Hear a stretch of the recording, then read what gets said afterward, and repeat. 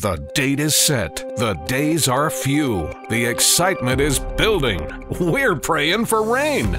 World class jewelry designer Don Fernandez at Vail Creek Jewelry wants all of your December jewelry to be free. No, he hasn't lost his mind. He's insured. He wants it to rain.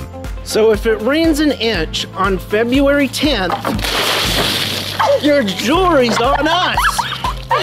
Actually, it's on the insurance company.